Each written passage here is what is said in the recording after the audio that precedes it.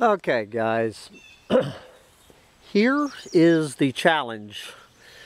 Uh, th this has turned, this project has turned into an unbelievable uh, drama here at Bugs in a Jar Farm. The object is to move this 8 foot by 8 foot shed.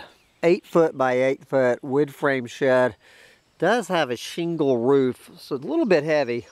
We need to move this shed 65 feet.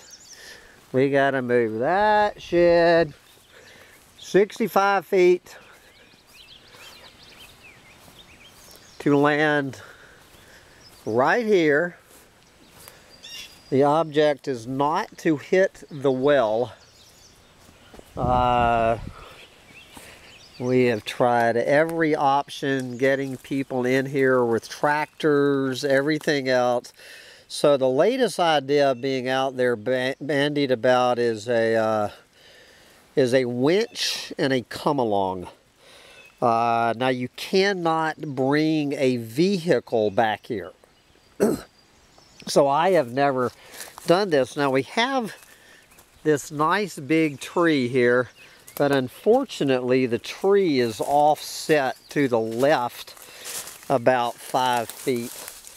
Uh, and short of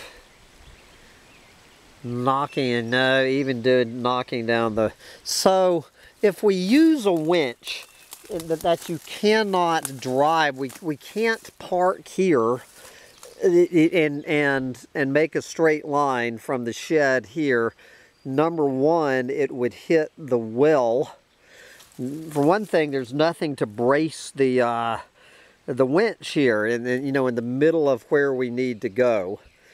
And then we would probably, well, there's no probably about it. It would, uh, if we lined up, it would hit the well.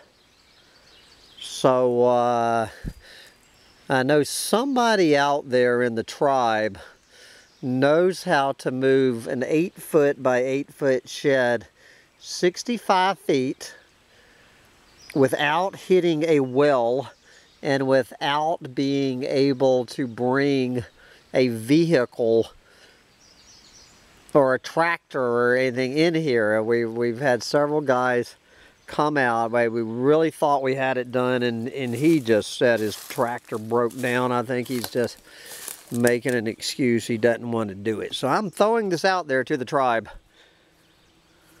Get that shed to right there. And I will be uh, forever indebted to anyone who can uh, give me ideas on this. You can uh, email me at Humpty Dumpty Tribe at gmail.com with your brilliant solution to this predicament. I know there's no solutions to predicaments. See the shed, if we can go just to the left of the of the well, we've got plenty of room between that tree and the well to get through here.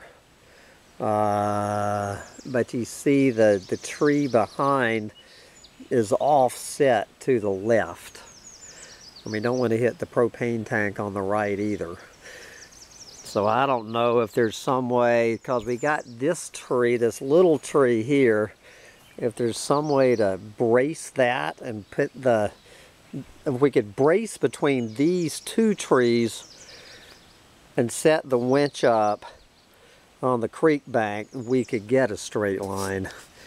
Any ideas, let me know.